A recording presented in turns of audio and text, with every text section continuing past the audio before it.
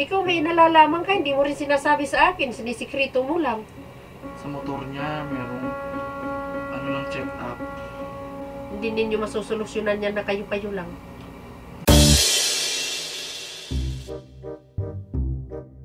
For tayo. 24 minutes. O, 24 minutes. Matagal-tagal yun ng 24 minutes. Kulang-kulang kalahating oras. Ay, okay ka lang ba? Okay lang naman. Na, na- alam mo, nakakainis talaga yung, yung ginawa talaga ni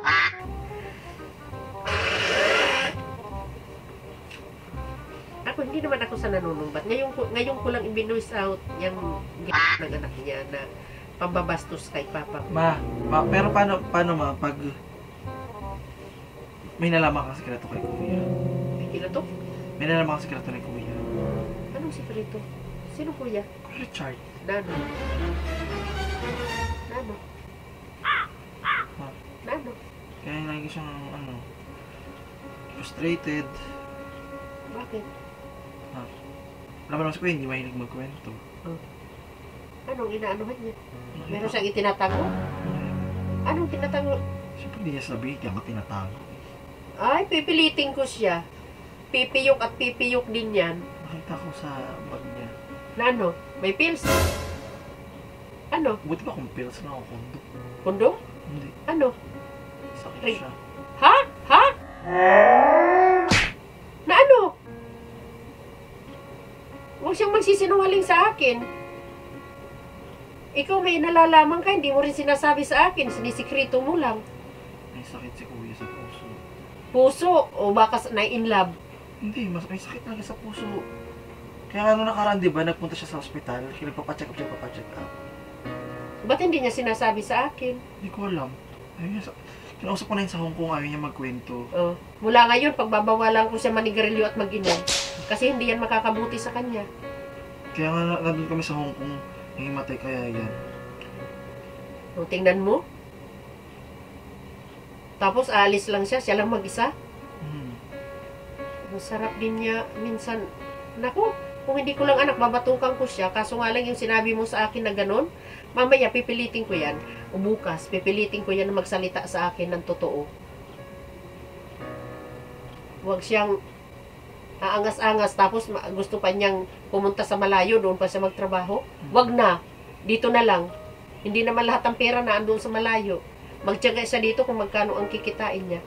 Na ganyan ang sitwasyon niya. Nandun kami sa Hong Kong, amubuhin may kasamang dugo.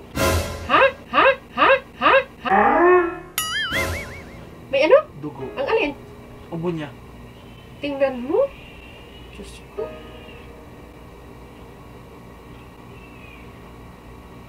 Tapos hindi ko siya nakatulog ng maayos kasi. Nasaan na ba yun? Sa baba, Anong ginagawa doon? hindi ko alam. Chard! Halika nga!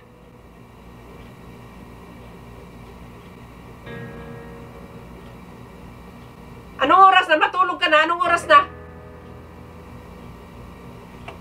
Hoy!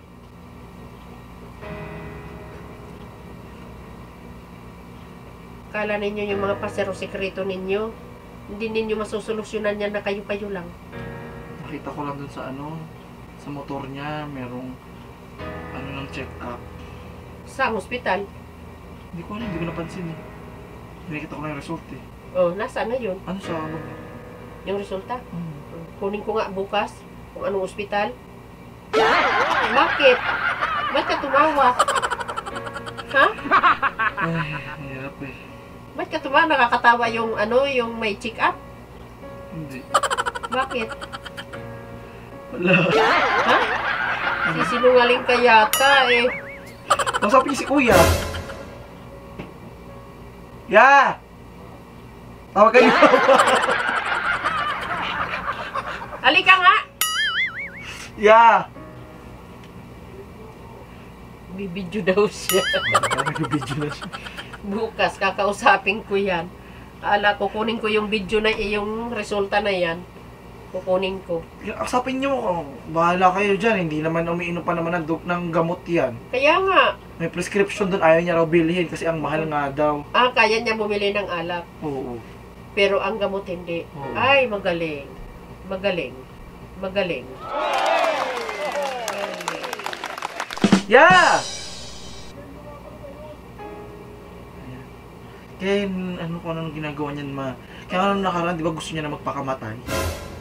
Hmm. Kasi prostrate nga siya. Ayos-ayusin lang niya. Ayos-ayusin niya ang kanyang buhay. Ano kay kuya na?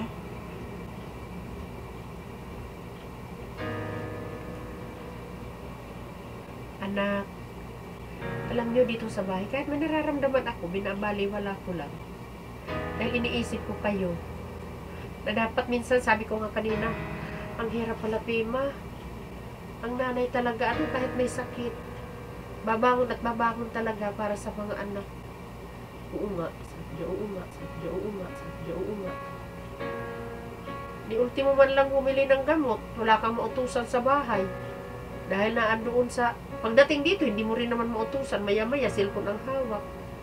Kaya habang kanina walang ulan, dali-dali akong bumili ng gamot. Nakaisip sana ako noon na, Ba't di mo ako tinex? Sa labas ako. nga dito o kay father ang gamot. Uutusan Ano ko sabi mo kay kuya?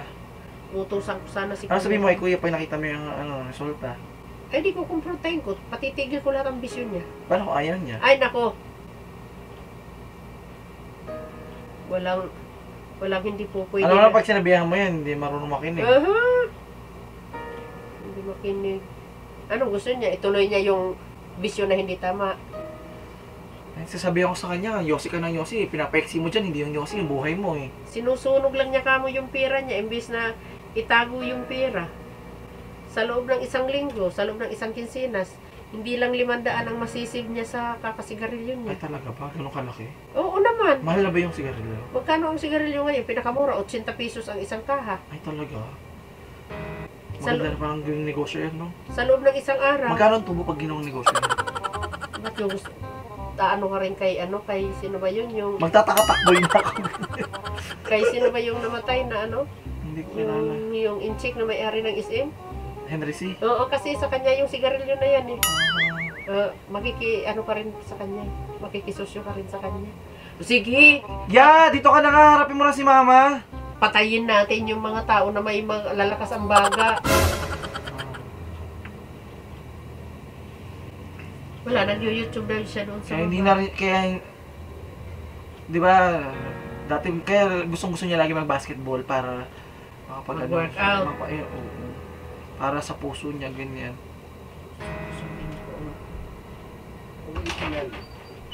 Halika, ano, ano, anong sakit mo? Anong sakit mo?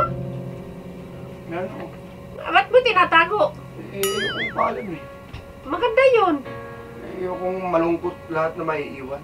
Simba ko, simba ko, simba ko, simba ko. Para kang timang. Bukas ibigay mo sa akin yung resulta ng ano na yan. Ha? I- Hindi nga ako magpapacheck up. Nagpa-check up pa na daw, sabi ni Francis. Hindi mo lang pinapakita sa akin. Kami na yun, naka sa files ko na lahat. Nakatabi sa files. Nasa email ko lahat yun. Email. Email Akala mo makakaalis ka. Makakalis ako. Kailan? Mamaya, pagpasok ko. Ito mo, hindi Oo, pa natulog na hanggang- naman. Yung sasabi ko sa'yo, ma. Nakatulog eh. Kaya papansin mo, bitin lagi tulog ko. Ah, ba't hindi ka natutulog? Anong problema? Ang dami ko nga iniisip. Ang dami tumatakbo sa utak. Ah, bakit? Tutulungan ka ba ng iniisip na yon? Eh, bakit eh... Wala eh. Ano wala eh? Eh, ganito ko eh. Ganito ako. Matulog ka na dyan. Enjoy life while you're still alive. Kaya Yolo ka nga. ba, Yolo? Yolo? You only live once ka ba? Matulog ka na dyan. Ikaw ano ba? You, you only live once ma o you Binigyan only- ka ng isang buhay. Kung binigyan ka ng isang buhay, anong gagawin mo? Magdamdam sa nararamdaman mo, isipin mo yung nararamdaman mo. Gawin mo, magpakasaya ka habang buhay ka, ipakita ang paramdam mo sa tao sa paligid mo na mahal mo sila, ipakita mo na ganito Oo ganyan. nga, pero kung mayroon ka naman nararamdaman Oo. na hindi maganda, Oo. gamutin Ikaw, mo. ikaw, tanongin ka ng doktor na ganito ganyan na lang buhay mo, may iniwala ka. Depende. Ako hindi may iniwala. Kung may pananalig ka sa itaas mo, tama nanalig ka dun sa doktor na yon. Baka sampalin mo yung doktor, dapat na bakit Panginoon ka ba para husgahan ako? Depende. Depende, ano. Sige na, magpahinga ka na dyan.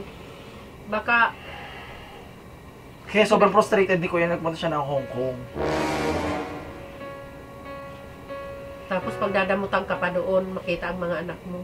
Hindi naman, nagkita na nga kami, pinagdadamutan pa ba? Kaya nga, salamat ang marami dahil kahit papano, naliwanagan din ang mga isip nila. Problema Be lang kung thankful na lang tayo sa nagaganap sa everyday living natin. Kung ano yung mga negatibo, tapo na natin. paano. Kaya nga, salamat May ng anxiety marami. and depression din ako, pero tama na yun. Move on na ako. Okay na Kaya yun. nga, salamat ng marami at nagkaroon din ng liwanag ang kanilang puso at isip. Hindi yung... thankful na lang tayo. Ganyan, kausap yung anak ko. oh. Salamat ang marami. Ah, shit, ka lang. Shit ka lang dyan. Alam, masakit dibdib ko. Ha? Sabi mo naman sinabi. Dami sinabi. Ah, Ikaw matulog ka na rin. sa Hong Kong kaya. Bakit? Ah, ang galing nyo rin. Ano? Na-stress na ako. Sabi ko, paano ba ito papatapusin? Ano bang gagawin namin? Ang galing, galing din umarte ni Kuya. Ano, masakit ang dibdib. Naniwala ka ba? Ng konti. Oo naman. Kaya ako natatawa nung kalagitnaan, hindi ko nakaya. Sabi ko, kasi nga sabi ko, di ba, meron ng, ano sa baba, merong resulta ng check-up. Kita ko eh. Tapos nakikita ni ate mo, hala, magkaalala yun. Hala, ano bang sakit ni Richard? Sabi mo. So at least ngayon na-prank po natin si mama pero hindi naman siya naging ganun kaya emotional or affected or what. So ayan, kung nagustuhan niyo yung aming prank kay mama, don't forget to like, share, and mag-subscribe sa aming channel dahil nag-upload po kami ng video every Hindi almost ganun every kadali, hindi ganun kadali. Nako, anak mo yun. So, ayan. simba ko, simba ko.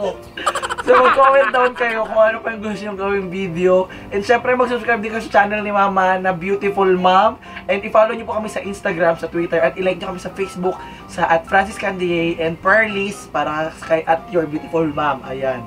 So magkita-kita tayong mga behang sa susunod. This is me, Francis. When you smile, don't say, say, don't Big- say cheese, say, Big cheese! see you tomorrow, bitches. Bye-bye.